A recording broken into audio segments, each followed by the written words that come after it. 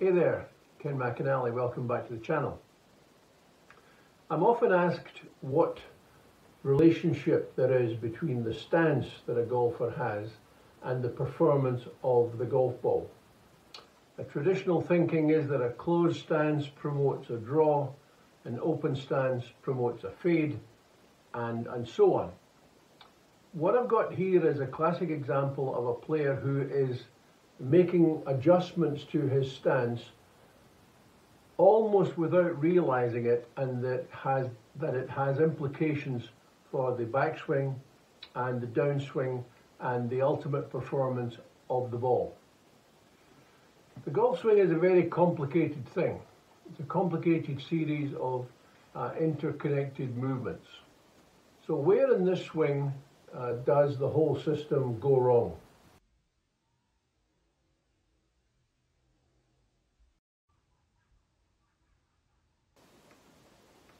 At the top of the backswing, we see that the golf club is, is aligned well to the right of the target and also well to the right of the feet alignment that the player uh, appears to have used. On the downswing, the whole right side of his body shoots in towards the ball. Um, the hands have been thrown in, the right hip has gone forward, the right knee has gone forward, and the whole body has rotated in uh, essentially towards the ball.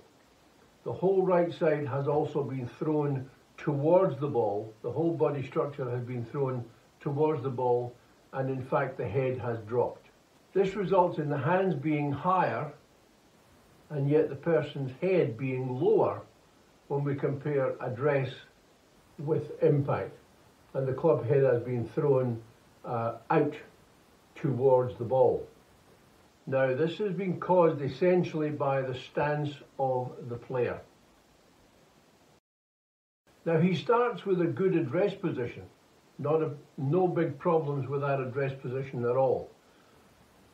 The alignment of the shoulders is good, the hips and the feet, and the hands are held close to the body.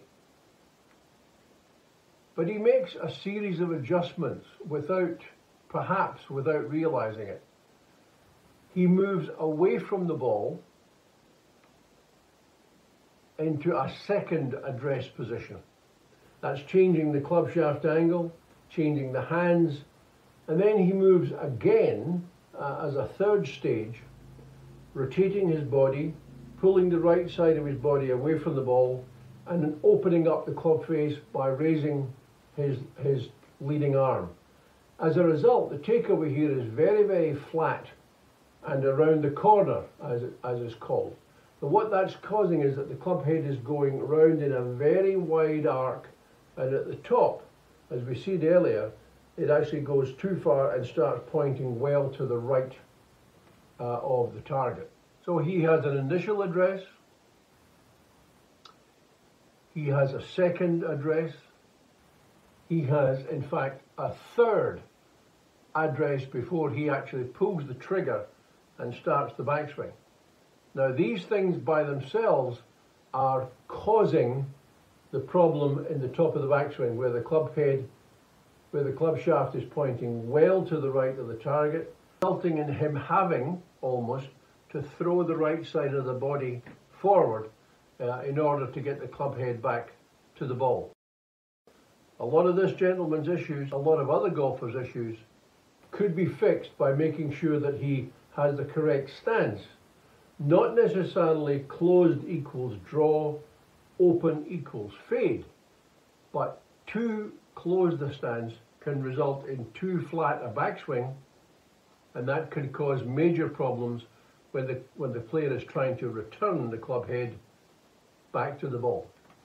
I hope the video has been useful, and I look forward to your comments back in time. Thank you very much for watching.